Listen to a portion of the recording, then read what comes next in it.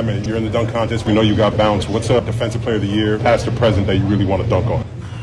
Defensive player of the year, past or present, that I would really like to dunk on. Giannis. LeBron, he's been playing since the Stone Age, right? Like, what's your earliest memory of watching him play growing up? Oh man, 2010 or 2011, Kobe and LeBron, East-West All-Star. Who still had the crown? I was pulling for Kobe the whole time, and I remember he had blocked the shot, and then he had dunked on him in that All-Star game. In that moment, I thought Kobe was the go. You've been luckier than most coming from LA to Miami. Which city do you like more? Respectfully, of course. Respectfully, Los Angeles. That's my home, so I'm gonna go LA.